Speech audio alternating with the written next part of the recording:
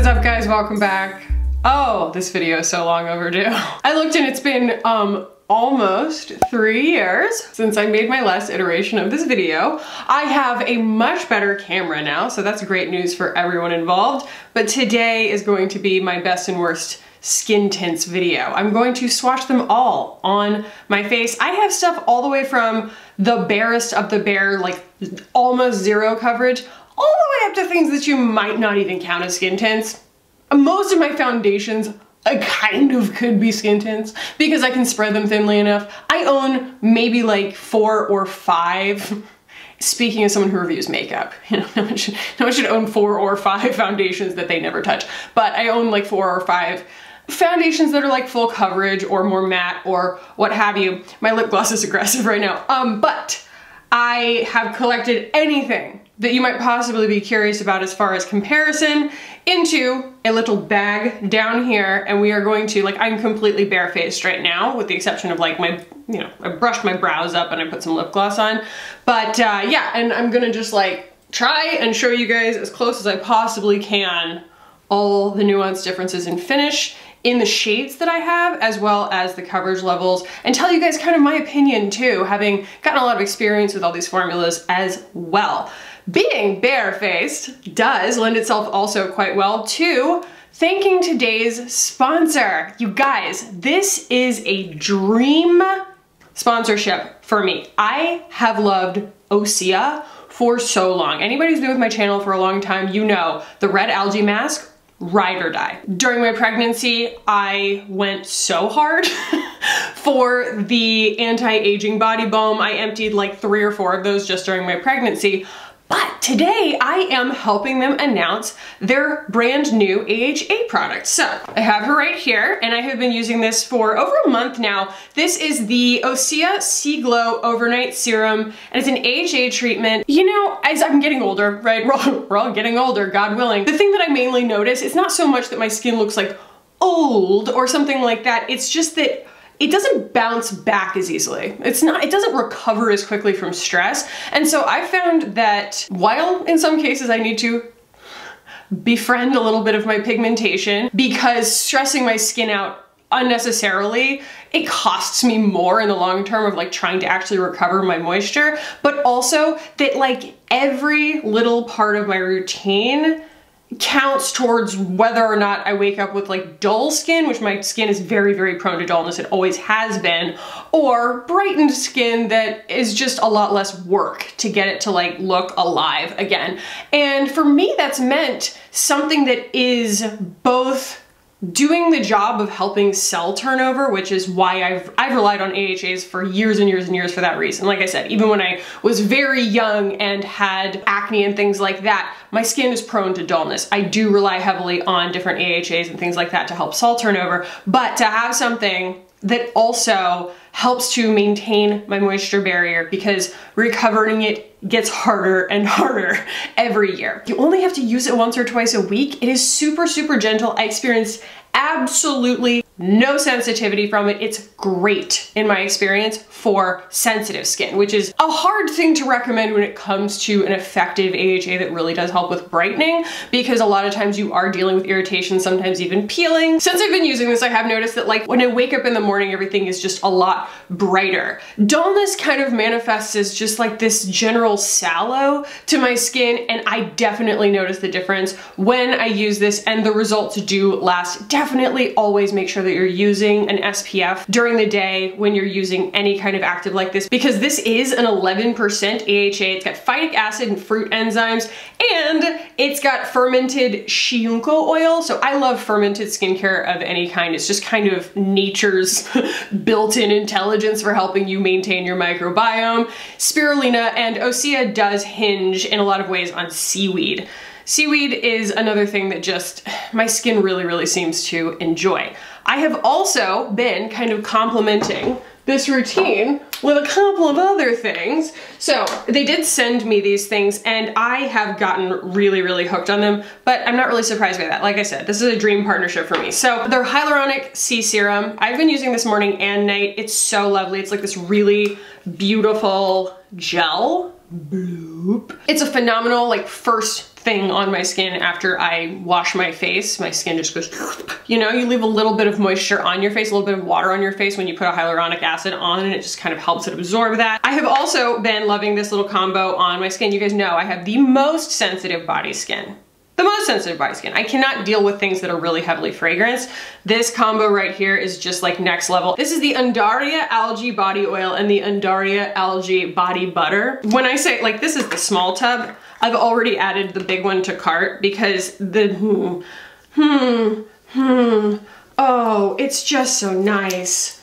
It's not at all vanishing. You know what I mean? I love something that feels both nourishing and occlusive. My hands are just wrecked all the time. It is just the most like luxurious, yummy, yummy, yummy. The thing that I have always loved about Osea, you know, the reason that I originally found them is because they're clean, vegan, cruelty-free, they're made in America, they're made in California, and they are climate neutral. So they really hit all the marks for me as far as conscious beauty is concerned. That was originally how I found them. That and I just have always really appreciated how gentle their products are. There's something just to be said for the fact that I know I can trust their products to have a lot of ingenuity in them, but also to hold up the other end of the bargain in terms of like taking care of my skin. So I also, I also added to cart the entire set of all three of the algae masks. They have a red algae mask, a white algae mask, and a black algae mask.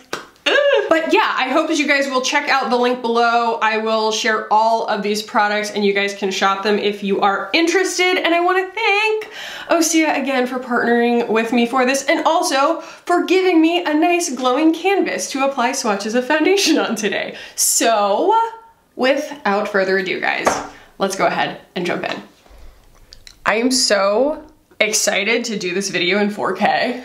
I'm so excited. Previously, I really felt like we were grasping at straws. I was like, I hope you guys can see. So here's my face. That um, AHA also has really helped with this thing was a monster. It was like a you need to get on antibiotics level kind of blemish, but um, I didn't because I don't want to land myself in the emergency room again. If you guys haven't been on my channel for a long time, I'm suffering with a sinus infection and also this situation right now because the last time they put me on antibiotics, it just completely wiped out my gut microbiome. I got colitis and I landed myself in the emergency room. So that's a little bit about me. Let's talk about foundations. All right, we're going to start with like the least coverage possible. Always like the landmark product for me is the Glossier Perfecting Skin Tint. And I made you guys a spreadsheet. Yes, I know, you're welcome. And it's going to have my arbitrary scale of coverage for all of these and um, the finish and my ideal shade. So I'm going to start with the Glossier here. I'm gonna just start on my forehead this time because it makes it easier to see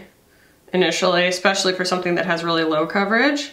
I have this in the shade G11.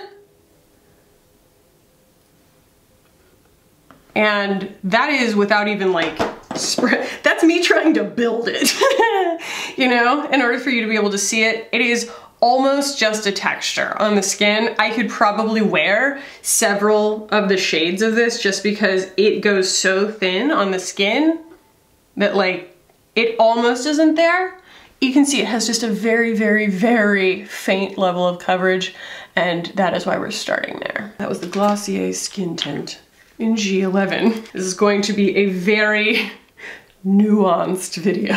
Um, but yeah, as far as my opinion is concerned, I've always liked the Glossier Skin Tint. It's a lovely, lovely product. I just don't reach for it that much because I like a little more coverage than that. And then we have the Chantecaille Future Skin Cushion. I have this in the shade Aura. If you ever find that your cushion is like really, really sad, you can just take tweezers or your little pincers, your hands, and flip the, the sponge over, the little cushion over. Like, meep, meep, meep, meep, meep. Wow, I know, right?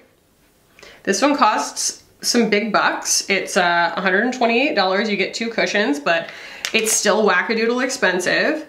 And um, I might have just put that right on top of the, glo uh, the Glossier one. I'm, who's, who's to know, really, right? And maybe I'll just end up with a very, very perfected, kind of blurred face by the end of this because they'll all run together. But uh, yeah, we're talking about uh, maybe a 0.75 in terms of coverage. Then we have the Rose Inc. I have this in 020 and this is the Skin Enhanced Luminous Tinted Serum. I really like this. I like it better than the Chanel just because the Chanel has a fragrance and is more expensive. I'm gonna go ahead and mix this on the back of my hand. It has the micro encapsulation in it and so you have to rub it together to get the pigment to kind of release we're still talking about like not even at a one yet in terms of coverage. Maybe I'll turn my light down even more. I can always brighten it up in post, but if you top out, you lose detail. Is that even helpful? Normally I don't shoot in this low of light because I can't see what I'm doing, but that's actually not that important in this video. So I do really like this stuff. Let's go ahead and swatch the Chanel next to it because why not? They're the same thing. The Chanel Les Beiges, I have this in the shade Light. Yeah, it's got that Chanel fragrance. I'm really trying to, it's silly. It's silly that I'm trying to build something like this for demonstration purposes, you know, because it's like the whole idea is that it doesn't build. The whole idea is that it's just this like, I don't need a whole lot of makeup.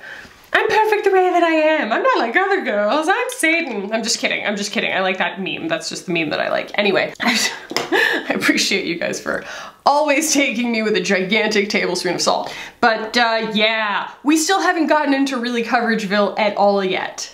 And of those, I really like the Glossier.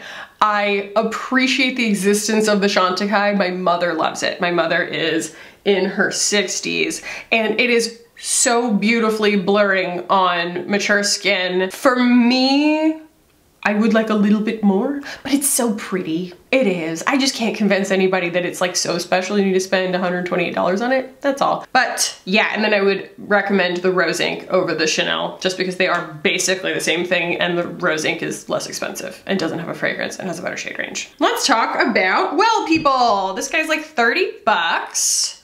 This is the Well People Biotint SPF 30 Tinted Moisturizer. I like this a lot because it's like very, very glowy.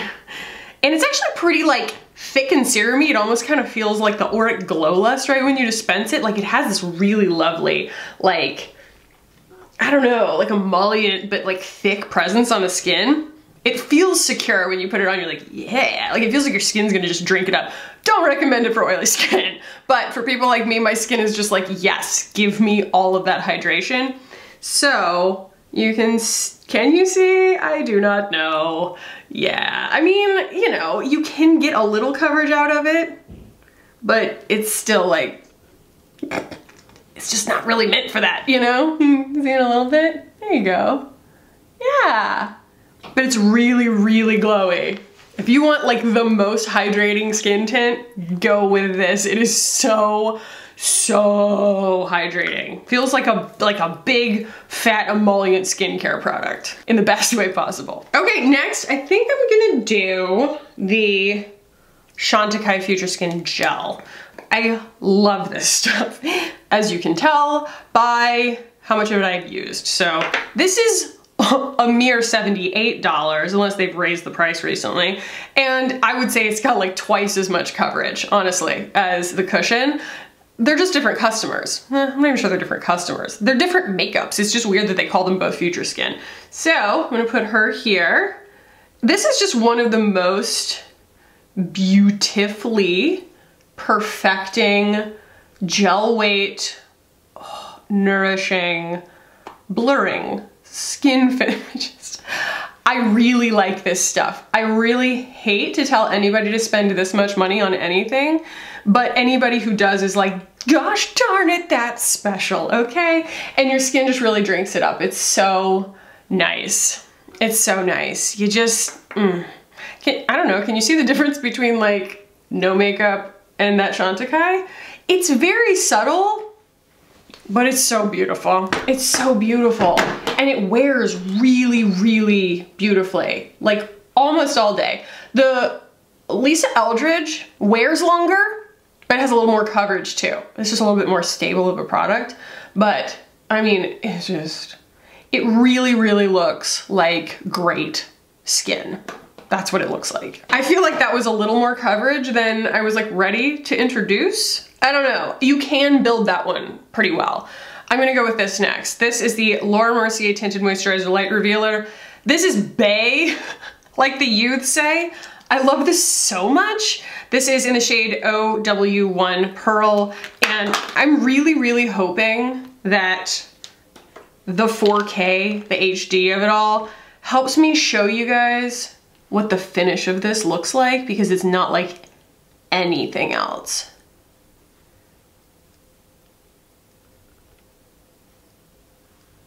Can you see that? It just has this crazy light catching quality to it that even when it dries down, it just adds this like wild light distortion to your skin where like I can still see plenty of my skin through it, but it's more perfected than I usually get with this little coverage. I think that's the really special thing about the Laura Mercier, the new Tinted Moisturizer Light Revealer, is that it is less coverage, but more perfecting. They just managed to like blur the skin without adding a lot of like pigment. And it's just so special. It's so special. There, it's I can feel it drying down and you can see how just in that one area right there, like the light hits it in the most beautiful, flattering, blurred way. I hope you can see that. Maybe it just helps to hear me talk about them. IDK, but that one's really special. All right, let's go Lisa Eldridge next. This is a foundation, and so is the Chantecaille. Some of these call themselves foundations, so like, you know, it's just more about how I feel about them, I guess. This is why you came to my channel. The Lisa Eldridge Seamless Skin, I have this in the shade three. These are some of the most flexible shades that I've ever seen. I've seen a lot of people I know wear very, very different shades. It's just a very wide shade range. And I did a wear test where I compared this to the Chantecaille because I do think that they are fairly similar, but it does have a bit more coverage and a little more wear time and it's only $61, so. You can see that that had a little bit of like a mattifying effect or like a satinifying effect, kind of like the Laura Mercier does, but you can see like these up here are still a lot dewier, especially where we put that Well People. The Well People is still like glowing like I just put aloe on my face, you know? And these are like blurred. Can you see that? this is such a silly video. This is why I've been putting it off, is because I'm like, I just, I'm not sure that like anybody can see what I'm talking about. Okay, so here I have the EM Cosmetics. This is the Daydream Cushion Foundation, SPF Cushion Foundation in the shade Fair. And that is what she looks like. This only comes in six shades.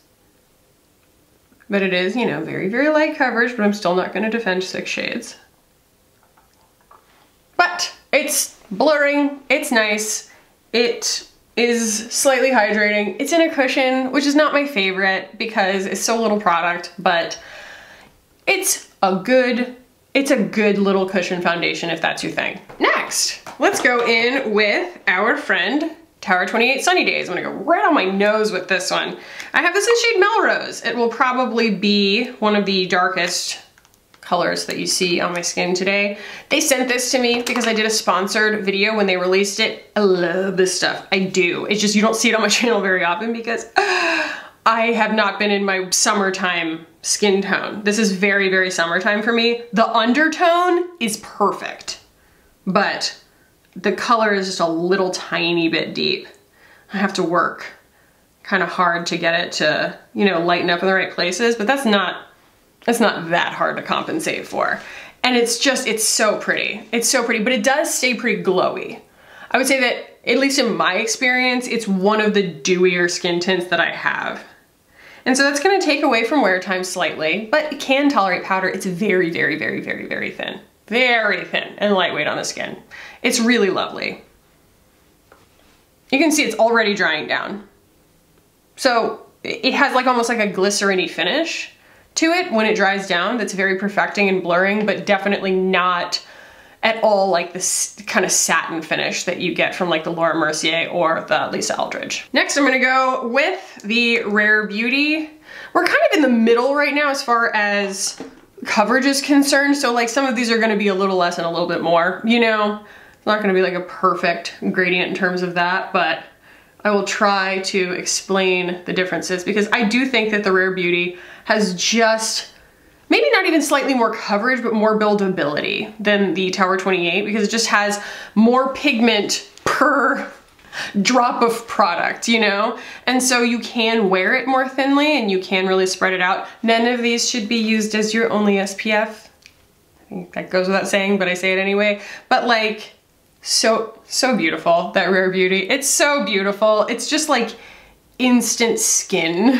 It's so pretty. And it also has a little bit, it's like halfway in between, mm, probably a little closer to the Tower 28, but it has like a touch of that extreme like well people kind of like juiciness, right? When you put it on your skin where you feel like your skin is going to like soak up the hydration a little bit in the best way possible. It's just been the one that I've been reaching for the most lately. It's also, I have it in 14W and it's just such a good shade match. So that's the other reason I keep reaching for it. Bare Minerals Complexion Rescue. I have this in Opal 01. This is one I wear so often on my own time, but here's the thing with Bare Minerals is they just don't come out with products that often.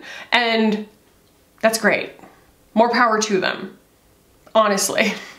But that does mean that like, you know, the shiny objects are flying right in our faces a lot more often. And so I, I try to talk about this and mention it in the same sentence, in the same breath as other beautiful skin tints all the time. But the fact is I use it off camera a lot more than I talk about it on camera. Oh, it's just gorgeous. It's so pretty.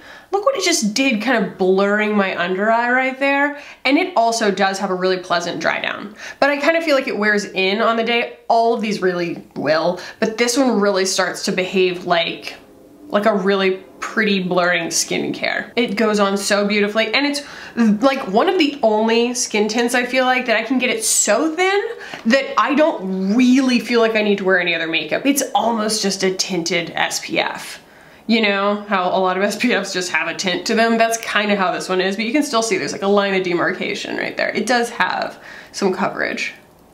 It's so pretty. Oh, it's so pretty. Look at that. It like blurs the pores.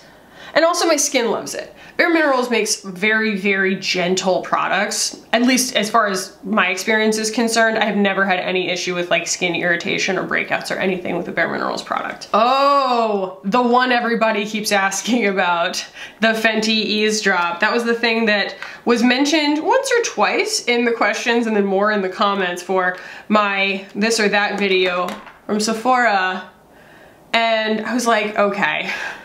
I have to cut this video off at some point because I'd already been filming for so long and I just swore I would give the, the proper due to the Eaze Drop because it is just so beautiful. And that's not everybody's opinion. A lot of people really, really hate this product. Oh, did you just see that? Did you just see like how it it has a lot more, I mean, a lot more coverage. we're, we're talking relatively speaking. I think the most coverage we're gonna get today is like a six, you know what I mean, out of 10. But it does, it has a lot more coverage than a lot of the other ones, and it's also a little bit more matte than a lot of these other ones. So it's like we're kind of moving in the direction of more coverage. Like it's, oh, it photographs beautifully. It is very much a Fenty take, if you're familiar with the way that Rihanna, you know, likes to formulate things, is a Fenty take on a skin tint. It has wear time. A lot of people don't like it. A lot of people say it like clings to dry spots and stuff like that. I have never had one moment of a problem with the Fenty Eaze Drop. And unlike some of her other stuff, it doesn't have like a scent or anything, which is great because that body sauce breaks me out if I wear it like more than a day in a row. But this is just so utterly beautiful. Utterly beautiful, really comfortable on the skin.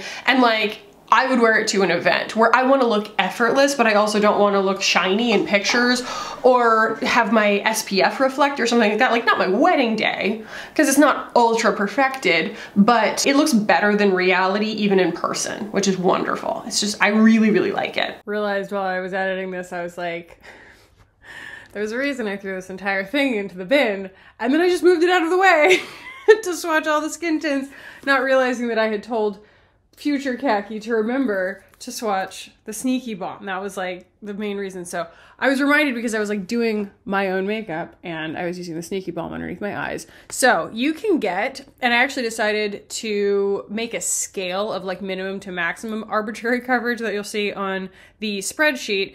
You can get like 0.5 out of Sneaky Bomb, but you can build it to like a 3.5. It's probably like granted, you're gonna want to powder it if you do that because it's kind of like the Glossier Stretch Concealer. When you build it, you notice the emollients a little bit more, but it's not quite, it's got more pigment to it than the Stretch Concealer does. But it has one of the largest ranges as it pertains to my arbitrary scale of coverage that's kind of why I forgot to think of it as a skin tint is because it's almost just a concealer to me, but you can use it as a skin tint and it's beautiful as a skin tint. So, to swatch that for you guys real quick. So, I mean, that's one swatch. You can build her up and not in an uncomfortable way either. And you get, you know, a skin tint slash concealer blemish camouflaging, you know, amount of coverage but I can also blend that out and I'm not blending it away. And it just becomes this completely invisible skin perfector. So yeah. Uh, there are so many. I really tried to remember and I still forgot. So there is the the sneaky bomb for you guys. All right, let's go.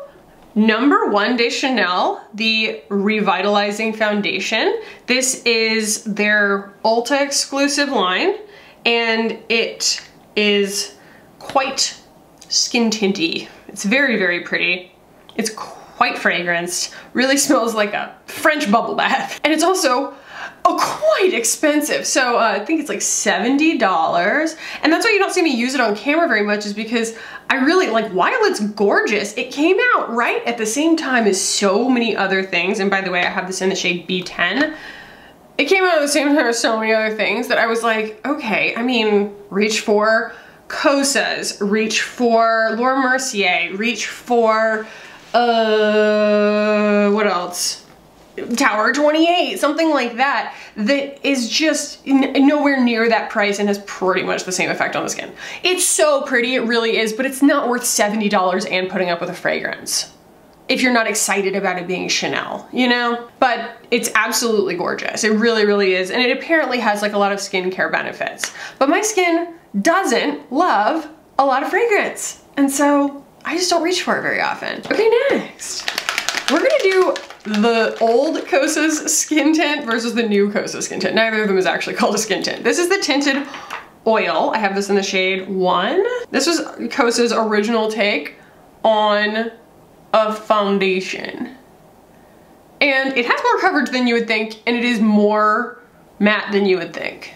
But I find that it's just a very polarizing formula for people because it's weird. It's thin, it's an oil, it's literally just dirt and oil. very, very ingeniously combined dirt and oil. It is exactly the same as the Josie Maran version, exactly the same as the Vapor version, and I just don't reach for it that often because it doesn't really do super well with other products. It's very, very pretty on its own, and I feel like it was pretty good with the older Kosas formulas, but trying to just combine it with like things that want to commit more on my skin, concealers and blushes and things like that, it just, uh, in my experience, it just wasn't really up to the task. So, Kosas re recently released this very, very beautiful Revealer Skin Improving Foundation. This is an SPF 25. I wear the shade 120. I'm gonna put this, what? Right here on my melasma stash. It has quite a bit of coverage, I feel like. I mean, it's not foundation level coverage. I mean, they call it a foundation Kackie. Either way, I don't feel like it necessarily commits to the point where you can't get sheer coverage out of it. I think that like that kind of becomes the, the tipping point is like, if it has a preferred level of coverage, the Rose Inc, for example, does, and it's not going to build. But like the NARS that I'm gonna talk about in a second, it's so foundation-y that it's actually hard to get it to kind of sheer all the way out and be behave like a skin tint. This has that versatility. It's very perfecting, it's very pretty, it's very skincare-y, but it also has some really lovely blur to it. It doesn't have any of the like light refraction kind of thing that makes me really, you know, gravitate towards that Laura Mercier, but it does have more coverage than the Laura Mercier. And I feel like it's gonna be really good for a lot of ages because it's super, super hydrating. It really just behaves like a very highly pigmented skincare product with a lot more like long wearing like foundation properties. It's, it's very, very pretty. It's very, very pretty. I like it a lot. okay, let's talk about that NARS. Let's talk about it. Okay, so this is the NARS light reflecting foundation. I'm actually gonna put this like all the way over here because it's gonna be probably one of the most high coverage ones that we do. But like, I just wanna show you guys what it looks like when I put on a found, like, my camera is actually working. Do not adjust your televisions.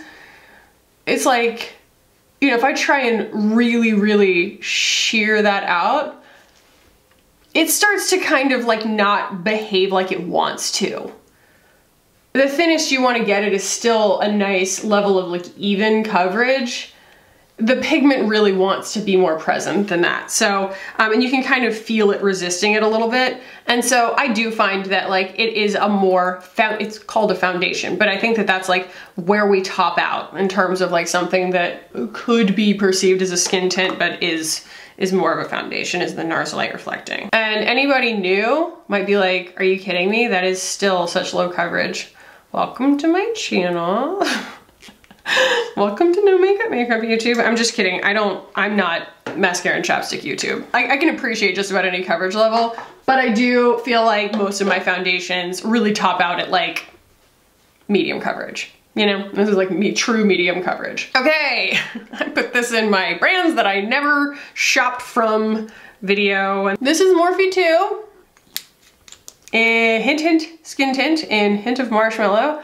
Not my fave, not my fave, not my fave. It just, it just kind of behaves like a watered down foundation. You can really see the pigment particles in it. There's no technology here. It kind of reminds me of the first ColourPop foundation where as soon as I put it on, I was like, I feel like the ingredients weren't friends with each other. And as soon as I put it on my skin, they went, get away from me. And they just separated. So yeah, there's nothing particularly like doing me any favors. Look at it like latching onto my mustache and being impossible to like, no, no, no. It's just like mattifying and it just looks like cheap makeup. It looks like cheap makeup. The trick is to buy makeup that is inexpensive, that performs like luxury.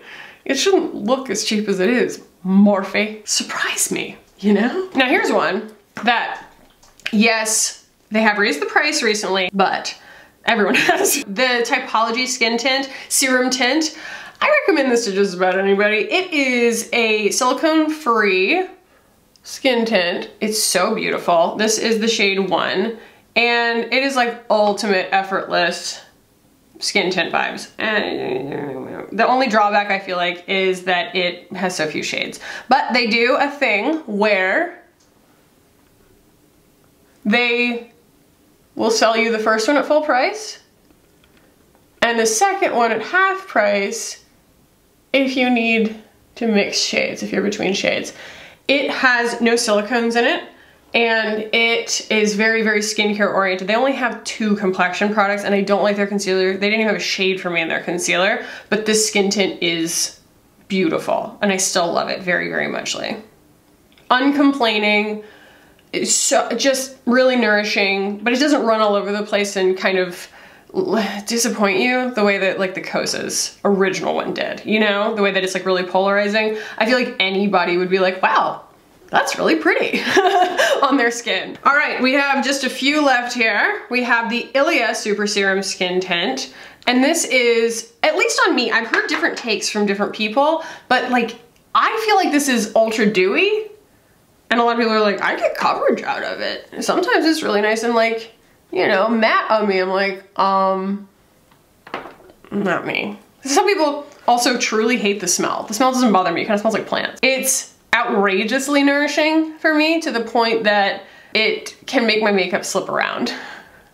So I wouldn't recommend it necessarily for oily skin people, but it's so pretty. But it's also like pretty much zero coverage. I should have put it up here because it's just so little coverage, but it's a beautiful finish on the skin. Here we have the Kjaer Weis. I bought this in the wrong shade, but this is their liquid foundation that has the most obnoxious little applicator I've ever seen because it traps air and doesn't want to pick up the product. It's very pretty, but it has a very strong fragrance and I don't love this shade on me. I don't understand why. Oh, the fragrance is so it's just the opposite of my personality. And it sucks because it's like Weis makes some of those beautiful products and they were so neck and neck with other stuff for me for such a long time and then they started putting fragrances in everything. I guess to be perceived as, you know, more luxury or something like that, but the fragrance that they chose is like powdered, desiccated daisies or something. I don't know. I don't like it, but it's really, really pretty. it's super pretty. I just have so many, I'm not gonna reach for that, and it's expensive. Again, here's one that doesn't really count as a skin tint, but it's among all these ones that were just released, and this is the Charlotte's Beautiful Skin Foundation from Charlotte Tilbury, and I have it in one neutral, and I'll just put her right here. It's definitely still a foundation, but it has a dewy finish, and you know, about the same coverage level, I feel like, as her, what was that stuff called? Light Wonder? I personally, is that a fragrance? No. I personally would really love to go back to using the Light Wonder, but I think she needs to reformulate it because it still has octinoxate in it. So I don't use it for that reason. But it's still quite pretty. I like it a lot. I just don't end up reaching for it because I think that the Kosas is a better version of kind of what she was going for. It's a little more coverage than the Kosas, but if I was going for a little bit more coverage, I'd probably go for the NARS. And that's just my personal opinion. Uh, it doesn't mean that if you own it, it's a terrible product. It's not. It's gorgeous. I think it's really, really pretty. It's just not my favorite. They, for the things that it's going for, I have other favorites. It's out. We have two more. We'll see if I can wedge them onto my face. And again, these don't really count, but I sort of wanted to swatch them anyway. And it's good because I have two more spots right here. So I have the Dior Backstage Face and Body, which kind of, you know, it's like this soupy skin tint. This is Zero W, and I mean, goodness gracious, is that warm, huh? That is, that is very, very light yellow. Looks like Easter eggs. But uh, I found that this mixed so beautifully with the In Beauty face glaze recently and I was able to get a glowier finish on it because it does dry down a little tiny bit matte for my taste, but it's still very pretty. I just feel like it doesn't have like enough technology in it to make me reach for it that often, but in order to get use out of it, I would absolutely just mix it with the In Beauty Face Glaze. I like that they have a huge shade range. It does lend itself well to makeup artist kits and things like that, but it also has a massive fragrance. It is really, really loud. It smells Woo! It's just, it's, it's a Dior smell. So again, that's another reason I don't reach for it all that often. And topping out the category for things that should be skin tints, but my dog's attacking the door, um, have way too much coverage to be considered a skin, skin tint, and have way too much fragrance for anything. Full stop is the new Danessa Myricks Yummy Skin. I hate to pick on this because you guys know, or you should know, if you've watched any of my other videos where I talk about anything from Danessa Myricks, let me add context. I think she's a genius. She does texture so well. She's so creative. I love her makeup. But this one flopped for me. It is so strongly fragranced. It's so wildly like fruity scented and the shade range is a little bit wild because I bought three in 3P and it is so, so, so, so, so, ah, so light. And maybe that just means that, you know, she's got a very exhaustive shade range, but it's supposed to give you yummy skin and it gives me chalky, high intensity coverage. Like I just want to remove like three quarters of it every single time that I use it because it's just too intense. And that's why there's the little primer that you're supposed to mix with it. It's also extremely heavily scented. And I just feel like it just, after all of that, it's just not something that I really like the look of or the behavior of, and it's just not something that I reach for because there are better things that I don't have to spend that much money on and I don't have to spend that much time mixing them and things like that. So, you know, I understand that there is a customer for that, it just isn't me.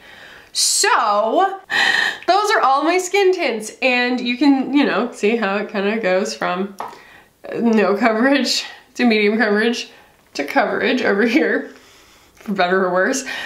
And these are all things that survived a recent declutter, with the exception of the Yummy Skin, because that was brand new. Uh, that means that I do think that they all still belong in my routine at some point or another, and that means that I will probably reach for them again at some point.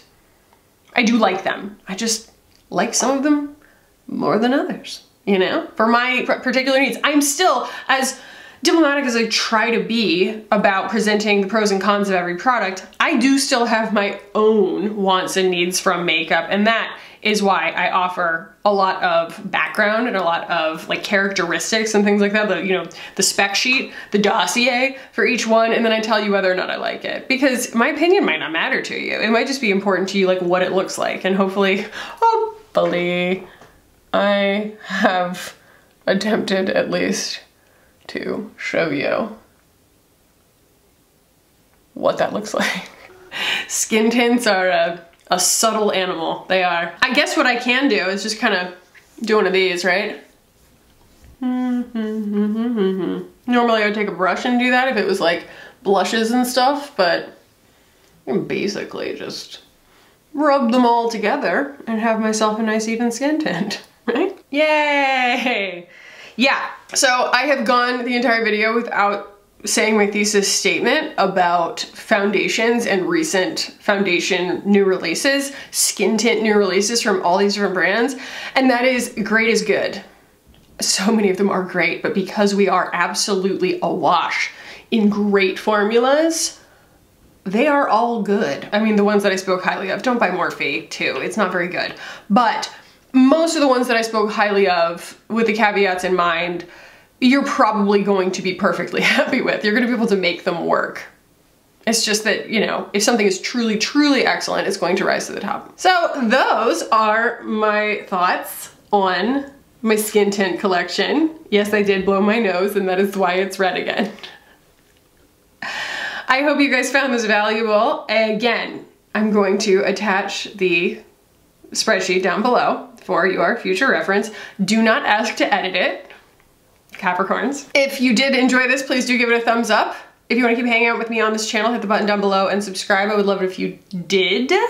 You can check out all of the links down below to all of the skin tints I mentioned, and I highly encourage you to check out all of the new gorgeous offerings from Osea, gentle, effective, beautiful skincare that I've been loving lately. Thank you to Osea for partnering with me for this video. The pleasure has been all mine. um, I love you guys so much and I'll see you in the next one. Bye.